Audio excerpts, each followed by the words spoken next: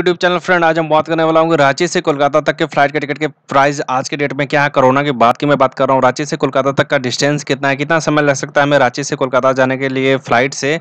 और सब चीज़ें मैं बताने वाला हूँ, कैसे फ़्लाइट की टिकट बुक कर सकते हैं तो बने रहे इस वीडियो पर वीडियो को लाइक करो, नए तो इस चैनल को सब्सक्राइब करो और बेलाइकन दबाना मत भूलना। तो यहाँ पर आ जाते पहले हम डिस्टेंस के बारे में बात करता हूँ तो तीन सौ सत्ताईस किलोमीटर है टोटल और इसको समय पूरा करने में जो फ़्लाइट को लगेगा, वो एक घंटा बीस मिनट के आसपास में लग जाता है। और अब बात करते हैं एयरपोर्ट कोर्ट्स के मामले तो रांची का हो जाता है आई कोलकाता का हो जाता है सी सी यू अब चलते हैं सीधे बुक करके आपको दिखाते हैं कैसे आपको बुक करना है। यहाँ पर आने के बाद, यहाँ पर आ जाओ सीधे गोवा डॉट कॉम पर यहाँ पर फ़्लाइट पर क्लिक करो, वन वे पे क्लिक करो, यहाँ पर डाल दो सीधे I X R I X R Ranchi और सी सी यू मतलब कोलकाता, ठीक है? ये कोड है उनका, ठीक है? इसके बाद डिपार्चर अपना डेट सेलेक्ट कर लो। मान लो हमें 9 सितंबर को जाना है वन ट्रेवलर इकोनॉमिक क्लास इसके बाद सीधे सर्च कर देना ठीक है? जैसे ही सर्च करोगे यहाँ पर पूरे डिटेल दिख जाती है। यहाँ पर देखो, पहला है इंडिगो की फ्लाइट्स है। आई एक्स आर रांची सोलह बज के पंद्रह मिनट पे है। एक घंटा पचपन मिनट सॉरी पचपन मिनट पूरा समय लेता है।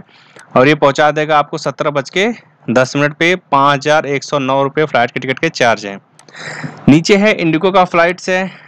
यहाँ पर चौदह बज के पचास मिनट फ्लाइट्स है। ये पटना होकर जाएगी पीएटी पटना में दो घंटा पैंतीस मिनट समय लेगी चार चार चार घंटा चालीस मिनट पूरा टोटल समय लगेगा।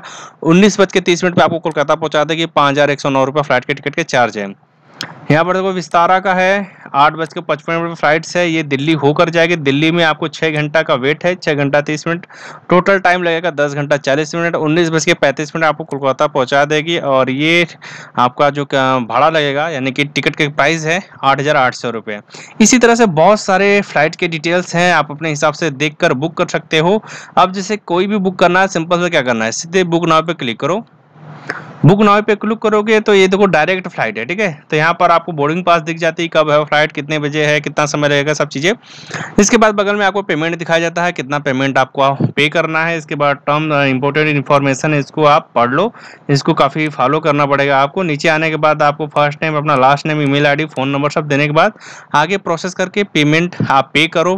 Debit card, credit card, net banking, किसी भी थ्रू से पे करके अपना टिकट बुक कर सकते हो, आपकी ईमेल आईडी पे आ जाएगा।